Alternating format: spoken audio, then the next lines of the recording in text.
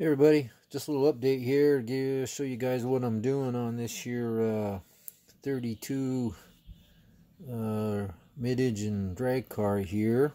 Before I cover it all up, what I think I'm doing here is I put some braces in here uh, with some styrene strips and I made a little jambs there for the deck lid. I made them kind of big because there's such a huge gap because the, the, trunk thing don't fit very good.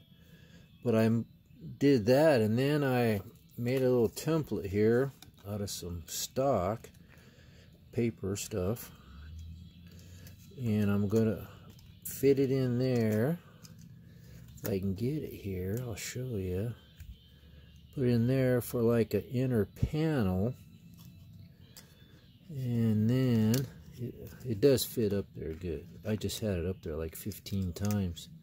I'll transfer that to some sheet plastic and then I'll have kind of an inner excuse me inner structure there so it looks a little more realistic and haven't decided if I want to put some holes in it to make it look like it's a stock inner panel or just make it look like the guy just put aluminum sheet in there to cover it to make it look good.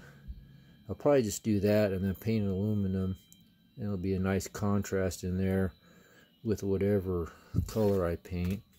And then I'll put a little piece across here and a little piece across there. I don't know if I'll do anything in there or not. That's getting a little bit technical there. But anyway, that's where I'm at with that. I think it'll look pretty good. A little trimming and stuff to do here. But that's what I wanted to show you guys what I did before I cover it all up. And we'll see how it looks uh, down the road here.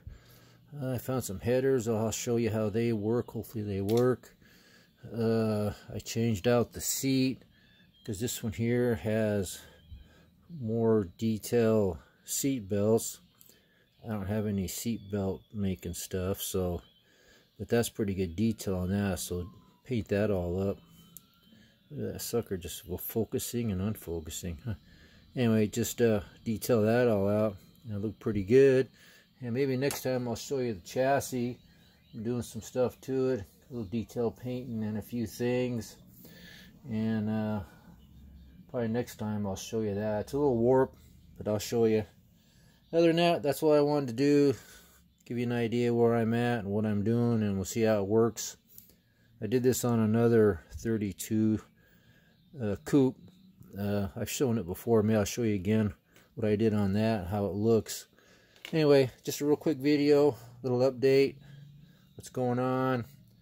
So that's it. Uh, I'm going to say thanks everybody for watching and thanks for subscribing. And, uh, you know, thanks for your comments and your thumbs up and all that. I really appreciate it uh, with that, everybody have a good uh, day, whatever day it is. I don't know, I lost track. And uh, I'll see you in a day or two with another update. Take care, bye.